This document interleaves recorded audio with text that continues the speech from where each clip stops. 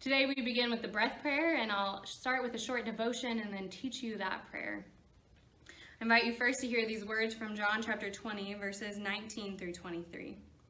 This was right after Jesus was resurrected and the disciples are gathered together.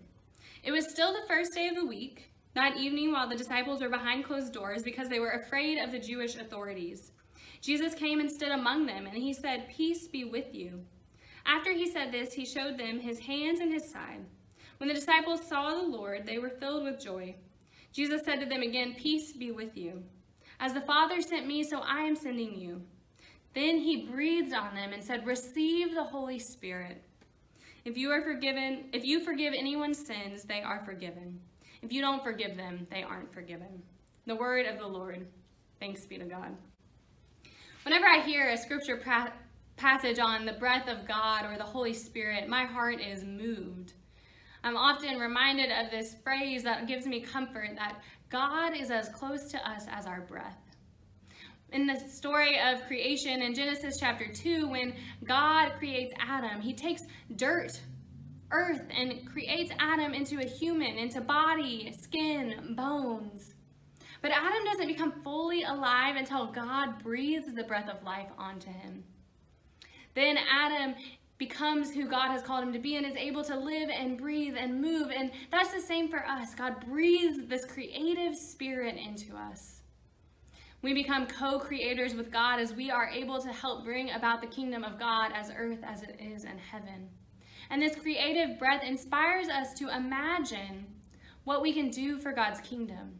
Gives us a God-sized imagination I wonder though if maybe during the pandemic you felt like your creative breath has been stifled. That maybe you aren't sure about where God is calling you or how you can live out the ministry that you felt called to because of this pandemic. Yet I invite you to think that maybe there's something new going on. Maybe God is calling us to imagine ministry in new ways as individuals, as Vilonia United Methodist, and even as the Church Universal.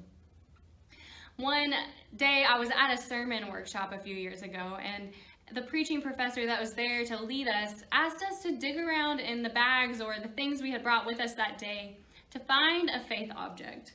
I always have a big work bag with me and so I dug around in my bag looking for something to share at my table and I pulled out my inhaler. And then she asked us to think of a sermon illustration and I wasn't quite sure what I would say. And then it hit me. My inhaler offers me sustenance. It gives me literally the breath of life when I am about to exercise or when my asthma or allergies are acting up. It offers me a way to take a deep breath in. It offers a sustaining breath for me. The disciples in the upper room on the evening we just read about in John 20 are in need of the same sustenance. They're scared, afraid, locked in a room, feeling alone. Just like many of us have been feeling in the midst of this pandemic.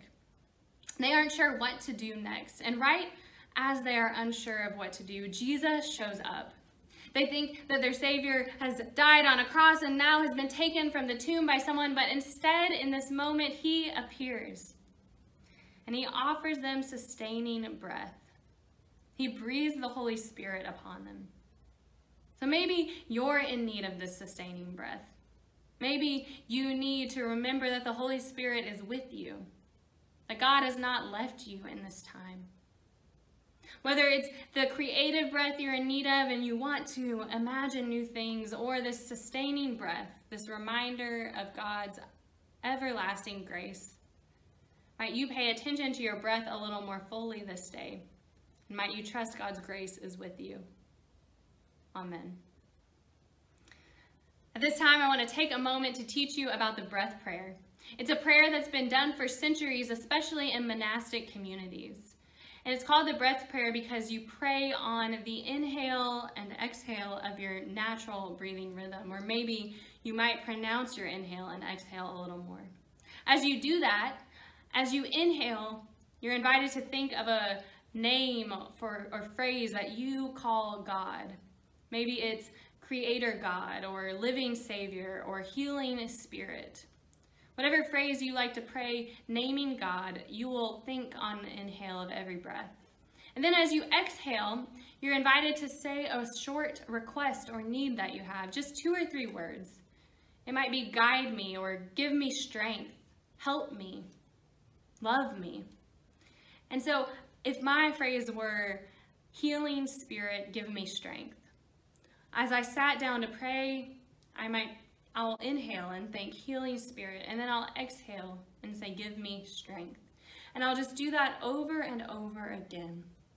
You can do that just for a few minutes, maybe setting a timer as you get in the practice, or you can just sit down and feel out how long you want to pray that prayer. This is a great prayer to do while you're doing dishes or driving to work, or even as your family is getting ready for bed at night. I invite you to try this practice sometime this week. Might and if you have a breath prayer that you've prayed before or one you create during this time, we'd love for you to share it in the comments section and let us know what that prayer is for you. At this time, I thank you for joining us and I invite you to join me in prayer. Loving God, we give you thanks that you are the breath of life, a sustaining breath that keeps us going when we are worried or sad or burdened. Might you give us your peace, just as Jesus promises to the disciples that day that he appears to them. And might you energize us for new things, giving us hope that you are our creator. Amen.